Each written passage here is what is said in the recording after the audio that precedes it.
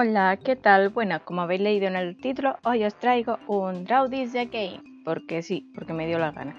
Os estoy mostrando un dibujo que hice, o sea, el dibujo que estoy rehaciendo es un dibujo random realmente que hice en un festival, iba a decir, en un evento extraescolar, porque realmente era de tiro con arco, que trajeron una tablet y pues yo dibujé.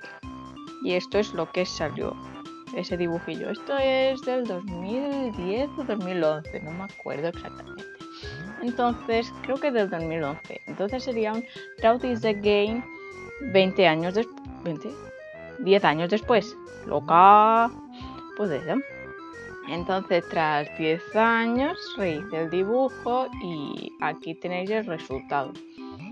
Mm, lo iba a cambiar un poquito, quizás, que al final dije, a ver, vamos a usar la existencia del dibujo original para que quede bien.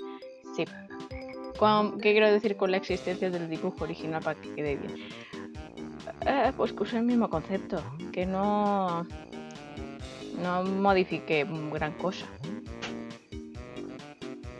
Nada más lo hice a mi estilo y con los años de experiencia, o sea, sé de prácticas y cosas que he dedicado al dibujo para mejorar.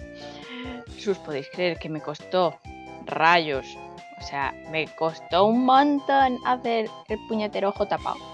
Ya no sé dibujar ojos tapados. Mire, o sea, tuve que hacer el ojo como tendría que ir originalmente para poderlo tapar, para entender el hecho de cómo va el look de ojo tapado. Porque últimamente ya no tapo los ojos. ¡Ey! Cosa rara, ¿verdad? Para un artista. El hecho de no me salen los ojos iguales, lo tapamos. Eh, solo tengo un personaje que tiene el ojo tapado, pero lo tiene porque realmente en la historia tiene el ojo tapado. En un inicio no lo tiene tapado, pero luego en una batalla pierde el ojo para no ir con el ojo ahí en plan, la que tal, no tengo ojo, pues lo lleva tapado con un parche. O sea, si estoy hablando de Engla, que tiene realmente el, tiene el ojo tapado. Tiene un parche por el hecho de que le falta el ojo, no porque no supiera dibujar el ojo. Y otra cosa que se me hizo bastante difícil fue dibujar el brazo metido dentro de la capucha. O sea, del bolsillo de la chaqueta, perdón, y la capucha tampoco concebí cómo hacerla para que quedara bien. O sea, hay tantos conceptos en este dibujo que actualmente no sé dibujar. No porque se me dé mal dibujar o haya empeorado, sino que porque son conceptos que no dibujo actualmente. O sea, no uso actualmente capuchas. Sí, las puedo dibujar, pero no se las pongo en la cabeza. Bueno, nunca creo que haya oído dibujar capuchas realmente. I don't know.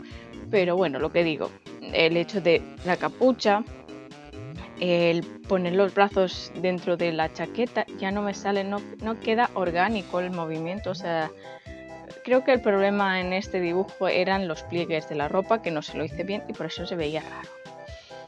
Que es otra cosa a la que me tengo que dedicar y practicar. Pliegues de la ropa para que la anatomía se identifique y veas hacia qué dirección va el cuerpo básicamente. Estoy probando un nuevo programa. Sí. Y como mi, los comentarios queréis que primero pruebe el programa y luego os haga una review del programa. Pues eso.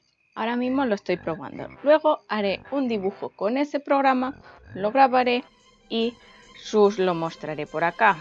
Lo que pasa es que tengo que hacer un layout para ese programa. Pues con layout, con algo para que se vea bien se entienda el concepto, ¿ok? Pero también que tenga un dibujo. ¿Algún dibujo, algún concepto que os gustaría que hiciera en ese programa? Es que, claro, no tengo ideas de qué dibujar. Y entonces ahora mismo estoy haciendo pruebas de copiando fotos para cogerle lo que sería el gusto a los pinceles del programa, las texturas y este tipo de cosas. No obstante, eso no quiere decir que pueda hacer un dibujo de mis personajes, pero no sé a quién dibujar inicialmente. Así que si tenéis ganas de ver alguno de mis personajes en especial dibujado, mm, yo qué sé, también me podéis decir en alguna pose o en algún concepto, cuando digo concepto, pues tipo con vestuario de playa, ya que estamos. O vestuario de Halloween. O mm, yo qué sé, invierno. Pues haciendo escalada, haciendo submarinismo, bailando claqué. Cualquier concepto que os interese de algún personaje mío. Pues podéis decírmelo y yo puedo intentar dibujar pues a ese personaje en el programa que estoy aprendiendo a ubicar, o sea, a utilizar, para que hacer una ilustración para YouTube mientras yo os hablo de mi experiencia con ese programa. No obstante, no sé qué dibujo hacer, así que si tenéis algún personaje que os hiciera ilusión que dibujara, me lo podéis dejar en comentarios y yo miraré de haceros el favor de dibujar ese personaje. Si no es en ese programa, ya lo dibujaré en un futuro en otra ilustración, ya que quizás el personaje que salga pues se ha repetido solo una vez el que querías tú y otro pues ha repetido cinco. No será verdad porque sinceramente pocos comentan, pero tampoco me importa mucho. Otra cosa que se me dificultó ahora que estoy mirando otra vez la imagen es el color. Ya no uso esa paleta de color tan vibrante. Eh, no porque no me guste, porque realmente me gusta, pero es que en mi estilo actual eh, la paleta de color tan vibrante no combina. ¿Por qué no combina? Porque son colores muy saturados y me recuerda a un estilo más infantil. Eh, mi estilo no es tan infantil. Entonces darle color tan saturado se me hace un poco... Mmm, ¿Por qué queda tan raro? Pero es cosa mía. No, no es que no me gusten los dibujos que la gente hace saturados con estilos más realistas. Pero a mí no se me da. Al igual que intenté hacer el pelo rubio de un color rubio natural. No un rubio tan artificial como el que tenía originalmente, porque básicamente intenté mostrar todo lo que he aprendido en un, o sea, todo lo que he, perdón, todo lo que he avanzado en este tiempo, o sea, en estos 10 años todo lo que he aprendido sobre color, sombra, luces, fondos, porque sí, tiene un fondo un poco detallado porque es la imitación a buena calidad, vamos a decir, de lo que tenía detrás, porque sí, se supone que ese dibujo tiene fondo.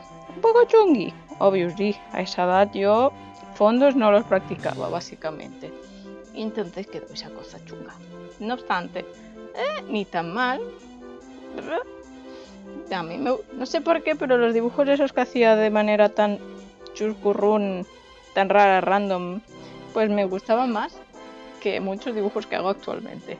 No obstante, eso no quiere decir que no me gusten los de ahora, sino que los de antes eh, tenían más emotividad, no sé, me representaban más cosas para mí. Este creo que, bueno, realmente este era muy random, no representaba gran cosa.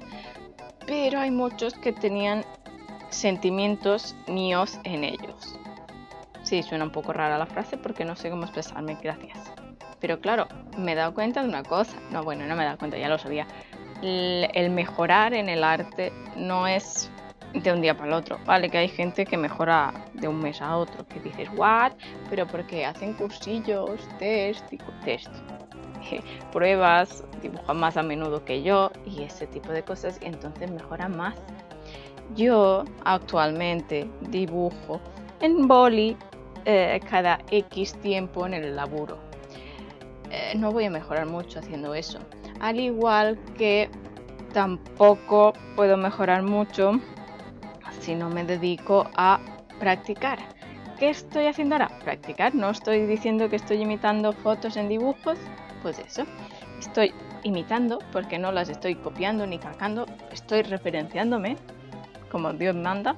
Estoy tomando de referencia de la pose, aunque se desproporcione un poco por mi tipo de dibujo, al igual que se vea un poco modificada, no obstante sigue siendo la misma pose, pero quizás el hueco que tiene entre el, el codo y el torso es más ancho porque la pose del brazo me ha quedado un poco más inclinada. Bueno, estoy haciendo prácticas. Eh, no me acuerdo cómo se dibuja sin hacer 40.000 rayajos.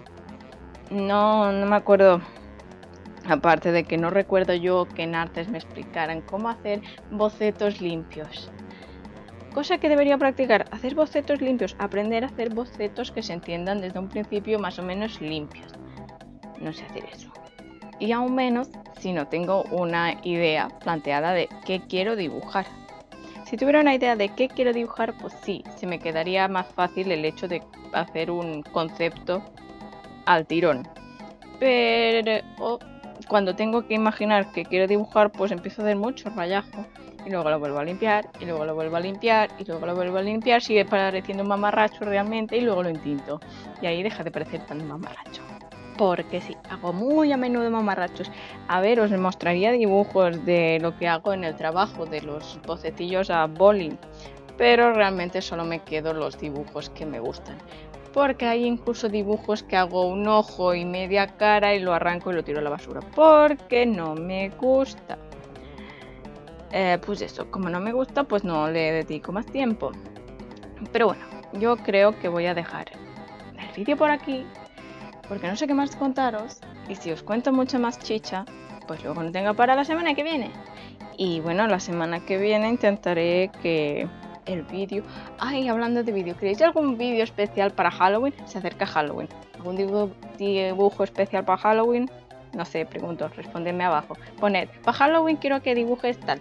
Para que yo sepa que es para Halloween. No para que yo... O sea, para que yo no tenga problemas a identificar en qué concepto de pregunta era. Ya que antes os he preguntado qué dibujo queréis que haga con el otro programa. Para el programa decís programa igual tal o dos puntos tal. Em, Halloween dos puntos X y ya está.